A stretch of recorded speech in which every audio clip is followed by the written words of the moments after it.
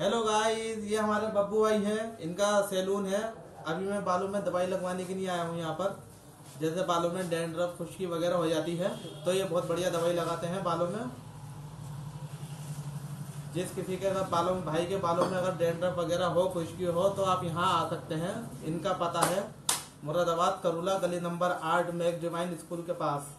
आगे इनसे संपर्क करना भाई। मैक डिवाइन स्कूल में ही है भाई। और बहुत बढ़िया दवाई है इनके पास। डैंड्रफ बिल्कुल ना रहेगा। देख लो डेंड्रफ बिल्कुल नहीं रहेगा। बहुत बढ़िया दवाई है भाई आप लोग आ सकते हैं। ये देखिए यहाँ पर एक मज़ा और है। ये घुमा घुमा के मारते हैं। घुमा घुमा के ये देखो सवारी खिलाते हैं खूब ये कुर्सी पे। और ये पीछे हमारे फहद भाई बैठे हैं। फहद राइनी। इन्हें भी अपनी थोड़ी बालों की कटिंग करवानी है शेविंग करवानी है। आज ये शादी में जा रहा है। आज इन्हें स्मार्ट होना है। वाही वाह। पराए घर जाना है। हाँ आज ये पराए हट जाएँगे आज ये। अब कहाँ गया छोटू तुझे भी दिखा दो आजा अब आजा बेटा आजा यूट्यूब पे आ जाएगा तू भी। आजा मेरे लाल आजा आज तो माशाल्लाह बब्बू भाई के चेहरे पर रौनक आई भी है आज जुम्मा है। पूरे हफ़्ते जिन जिन ने उधार काम करवाया होगा कल पैसे दे दिए होंगे ना आज माशाल्लाह खुशी है चेहरे पे। हाँ भी ना मिले। अभी ना मिले पैसा। चलो देखो माशाल्लाह कितनी अच्छी बात है इनके अंदर। इनको पैसे नहीं मिले फिर भी इनके चेहरे पर माशाल्लाह हँसी रहती है। हंसमुख इंसान है बेचारे। बहुत बढ़िया है आदत के। हम मिर्ची लग रहे हैं यार आज।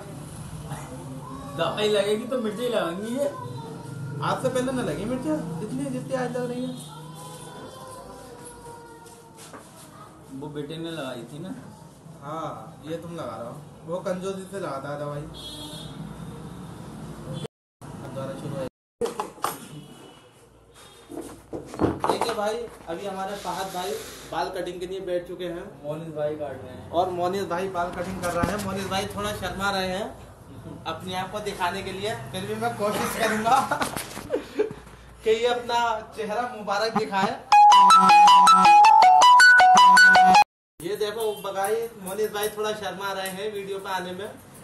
फिर भी हम इनको दिखा रहे हैं, आपको देखिए। बहुत अच्छी कटिंग करते हैं, माशाल्लाह ये। पप्पू भाई का सपुत्र है ये। मोहम्मद मोनीस। और हमारे फहद भाई आज शादी में जाएँगे तो इसलिए थोड़ी कटिंग वटिंग करा रहा है। आज ये स्मार्ट होंगे, आज ये।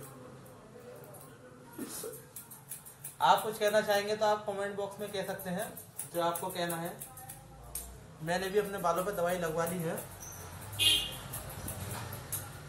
बस अब घर जाके थोड़ा सर धोना है, बाकी फ़र्स्ट क्लास मेरे चैनल को सब्सक्राइब करें, वीडियो को लाइक करें और कमेंट में बताना कि वीडियो कैसी लगी।